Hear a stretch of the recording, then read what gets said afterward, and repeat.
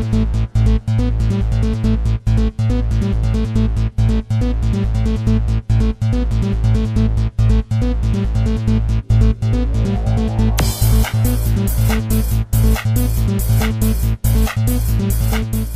this presentation, I'm going to review some scientific deceptions regarding the origin of life. The claim that dinosaurs evolved into birds is not a scientific myth. The theory of evolution is a fairy tale built on the hope of the impossible coming true. The theory maintains that the ancestors of birds were dinosaurs, which are the members of the reptile family.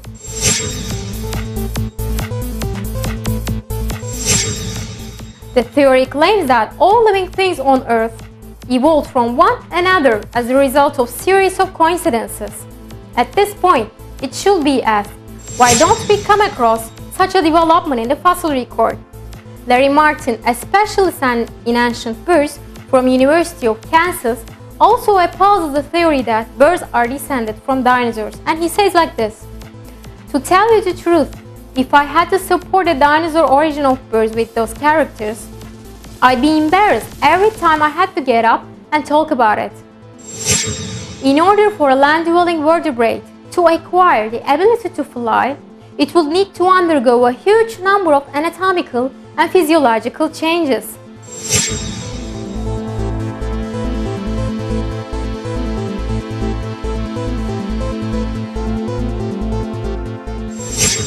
Bird's lung possesses a unique and entirely different structure from all other land-dwelling vertebrates, including the reptiles.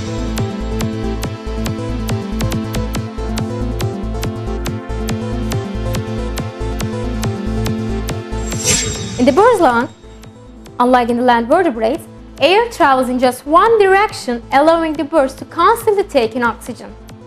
The myth that land vertebrate lung evolved into an avian lung is a deception. Any transitional bird-like creature will be unable to breathe at all without a perfect structure.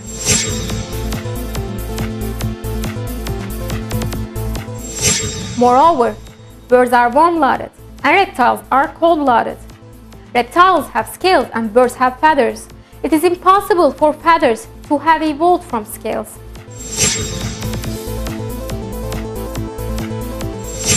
Reptiles have heavy, thick and solid bones. Birds' bones, on the other hand, are thinner and hollow. Their lighter bones make it possible for them to fly with ease. For example, the skeleton of a pigeon makes up only the 4.4% of its total body weight.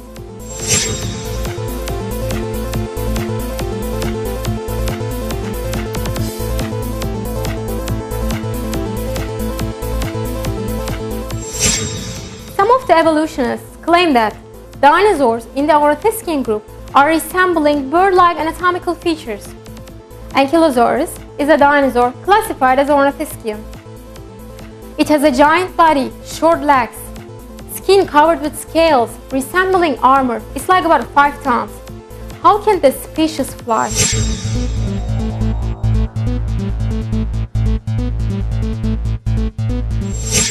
Its characteristics is too clear to show that the hope of the evolutionist is impossible to come true. Alan Feduccia, a well-known ornithologist in the world, asks like this. How do you derive birds from a heavy, earth-bound, bipedal reptile that has a deep body, a heavy balancing tail, and foreshortened forelimbs? Biophysically, it's impossible. These are just a few of the differences between reptiles and birds. Evolutionists can never account the emergence of such complex systems like birds' feathers, wings, or lungs.